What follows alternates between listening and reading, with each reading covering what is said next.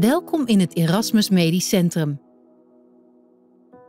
In de centrale hal, de Passage, vindt u aanmeldzuilen.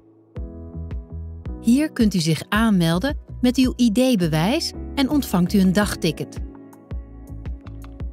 Op dit dagticket staat waar u moet zijn. Weet u niet goed waar u moet zijn?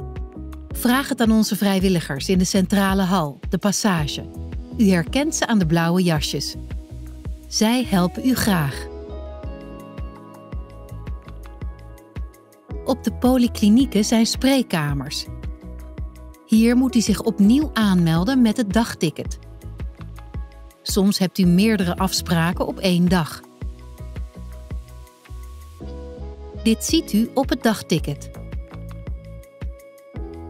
Voor die aanvullende onderzoeken werken we samen met andere afdelingen, zoals de afdeling Radiologie, Nucleaire Geneeskunde, het Dagbehandelcentrum, het Afnamelaboratorium en het Laboratorium Voortplantingsgeneeskunde.